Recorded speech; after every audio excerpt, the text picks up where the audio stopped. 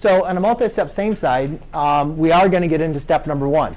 And anytime you guys see a parentheses and you see a quantity outside parentheses, think of using the distributive property. We have to simplify this. We can't isolate the variable until we have eliminated all of our parentheses.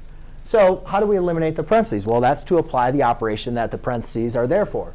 It's um, grouping n plus 5 to be multiplied by 2. So let's multiply 2 times the quantity n plus 5. So you apply your nice little distributive property.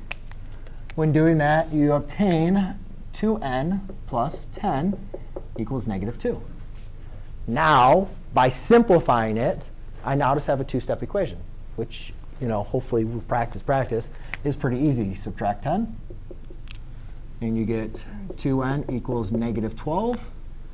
Divide by 2, divide by 2, n equals negative 6. Fair enough? All right, we're getting it?